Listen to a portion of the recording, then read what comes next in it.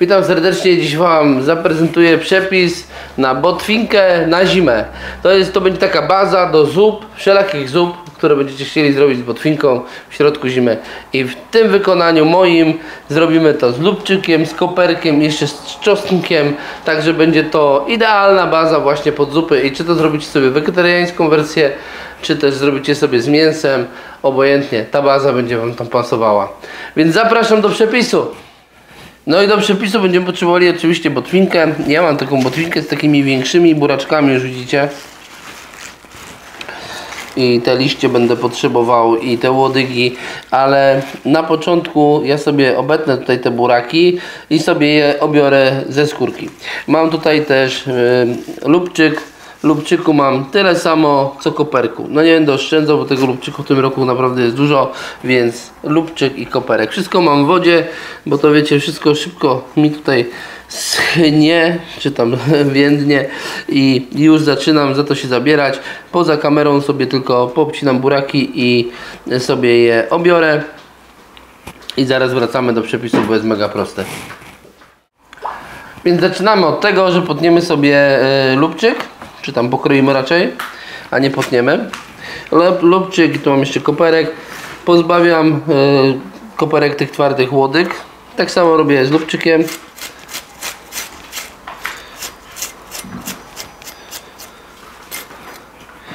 Te łodygi zostawiam, można z nich sobie zrobić pesto i to jest parę minut.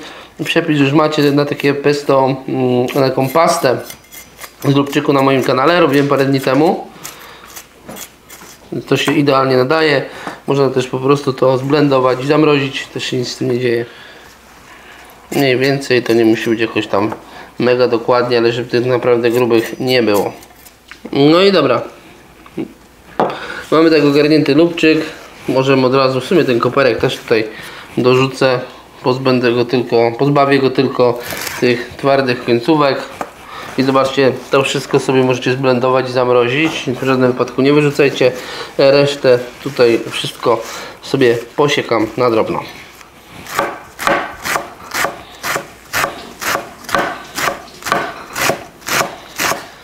Ale to ma aromat ekstra. Dobra, wrzucam to od razu wszystko do dużej takiej miski, jakiejś większej miski, w której to wszystko sobie później wymieszamy. Teraz mam tutaj botwinkę. Botwinka umyta. I tak, liście, wszystko, wszystko kroję na dość drobną. Jeżeli chcecie mieć bardziej wyczuwalne te liście później, to możecie yy, ogonki sobie tutaj te na drobno pokroić, a liście troszeczkę na grubsze kawałki. Ja to kroję wszystko razem, nie mam czasu na takie zabawy. I to jeszcze raz na połowę. Ok dorzucam do miski. Biorę następną porcję. Potwiny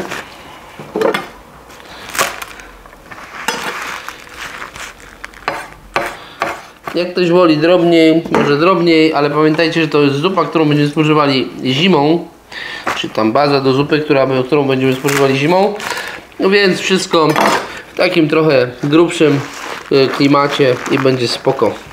Bo taka mama łyga to też jest nie za ciekawa rzecz. Jeszcze raz na połowę i spoko.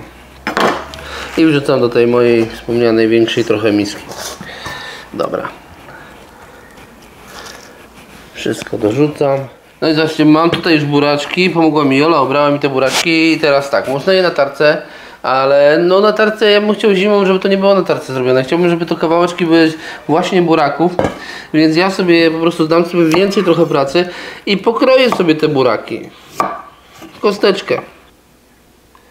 I kroimy kosteczkę. Zobaczcie, taką niewielką kosteczkę kroimy to wszystko. I tak postępujemy z wszystkimi burakami i zaraz wam pokażę co robimy dalej. Buraki jak widzicie mam już pokrojone, robię tutaj trochę miejsca. Bo mam już tutaj kilka ząbków czosnku, polskiego czosnku, 6 ząbków akurat. I też siekam na drobne plasterki. Które również dodam do słoików.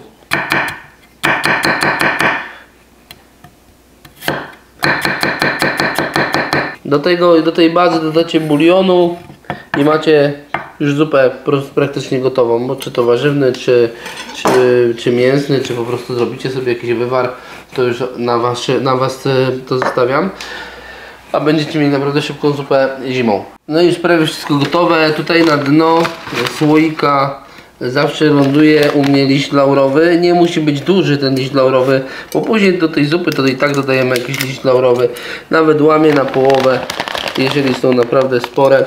E, To tutaj mam liście laurowe. No i ziele angielskie.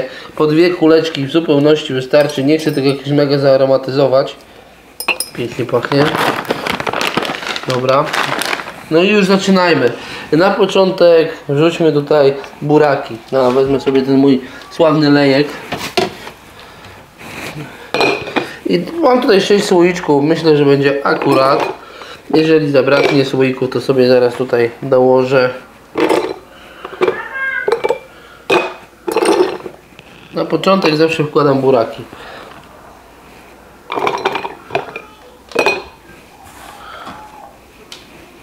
Buraki były takie duże, że naprawdę jeszcze jeden słoik mi się przydał.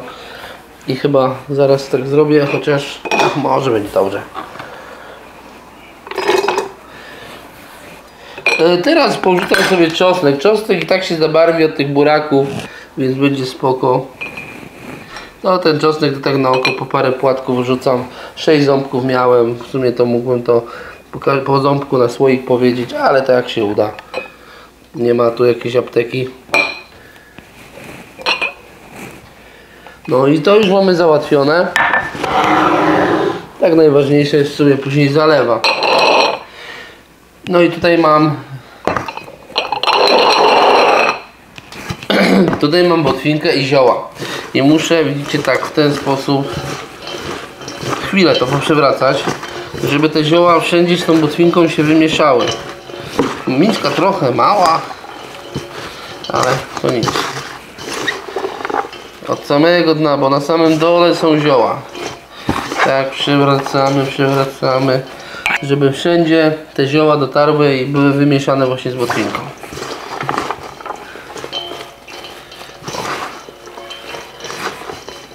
Pięknie, pięknie to pachnie. Uwielbiam. To już by było dobre na taki gar zupy. Dobra, postaram się jakoś tutaj wcisnąć. Może uda się przez ten lejek. Zobaczymy.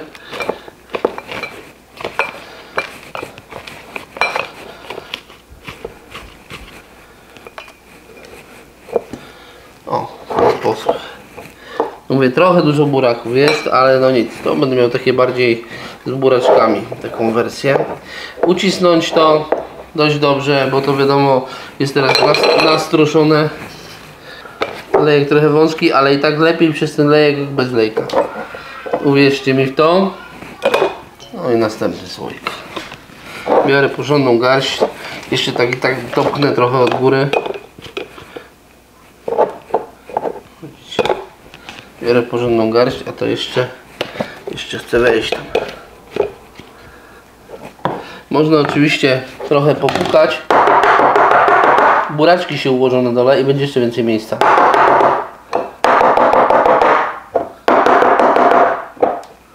No i zobaczcie, akurat wszystko się zmieściło. Nie musiałem szukać jeszcze jednego słoika.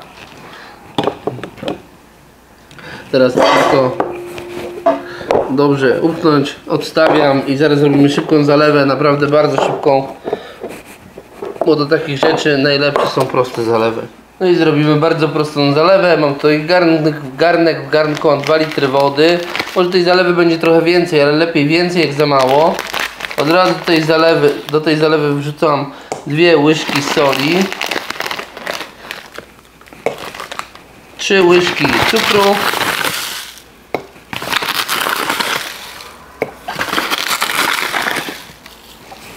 i niecałą szklankę octu jabłkowego, tak z 200 ml tego octu, żeby było, nie 250, ale 200 ml octu. No, mam tu taką resztówkę, to jeszcze tam doleję i po butelce. Dobra, teraz tak, Wstawiam to na kuchenkę gazową. Będę to cały czas mieszał, czy tam co po jakiś, co, co po chwilę, żeby po prostu się ten cukier rozpuścił i sól, żeby się rozpuściła. I Jak tylko się zagotuje, tylko zabumluje to, wyłączamy i przychodzimy tutaj na stół i kontynuujemy nasz bardzo, bardzo prosty przepis. W tym czasie, kiedy zalewam i się tam zagotowuje, wlewam tutaj po łyżce oleju. Nie oliwy, ale oleju. I Jak wiecie, często też tak robię, że po prostu dodałam tą e, oliwę lub olej, ale w tym wypadku dzisiaj jest olej. Jaki olej wybierzecie, to już wasza sprawa. Może być naprawdę też oliwa, ale ja chcę to dzisiaj zrobić z olejem. E, ma bardziej taki neutralny smak. Nie chciałbym tą oliwę e, akurat z botwiną mieszać, więc dzisiaj olej. E, On wypłynie sobie na wierzch, bo wiadomo, oliwa sprawiedliwa i będzie po wierzchu pływała, ale on nam jeszcze dodatkowo zabezpieczy przy pasteryzacji. O pasteryzacji też Wam zaraz powiem. Prosta, szybka sprawa. Także idę tylko zamieszam, żeby się to nic tam nie przywarło do dna i za chwileczkę już kontynuujemy przepis. No i teraz zalewa już mi się zagotowała. Ściągam z ognia i od razu taką gorącą zalewą zalewam słoiki. Zostawiam centymetr od góry wolnej przestrzeni.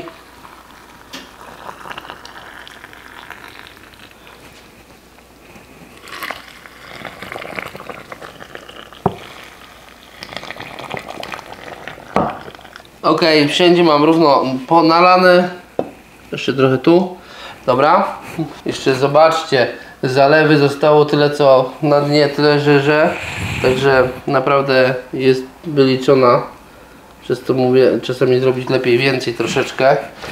Ale jak dobrze zrobicie, dobrze udusicie tą botwinę tak jak ja, to wam na pewno wyjdzie. Tu mam teraz już wyparzone wieczka. Aha, warto brzegi wyczyścić, bo tu jednak trochę się babrałem w tym wszystkim. I te brzegi słoików wyczyście sobie.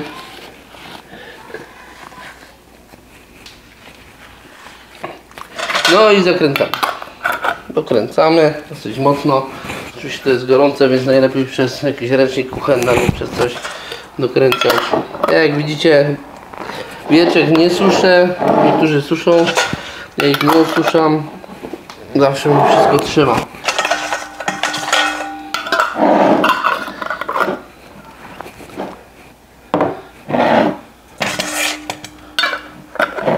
No i krótko o pasteryzacji.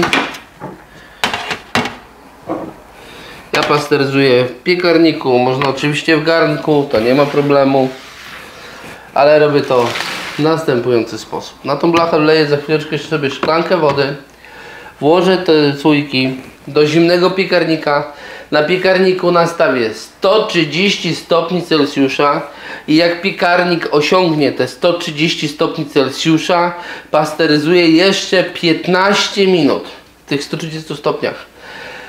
Po tym czasie wyłączam piekarnik, wyciągam słoiki na stół, można obrócić do góry dnem, nie trzeba, aczkolwiek ja już tak wiecie, przezornie obracam do góry dnem i przykrywam ręcznikiem, żeby one powolutku traciły swoją temperaturę i pięknie się Wam zaciągną te wieczka i zimą otwieracie i macie mega super zupę wiosenną w środku zimy. I ja Was serdecznie pozdrawiam i do zobaczenia!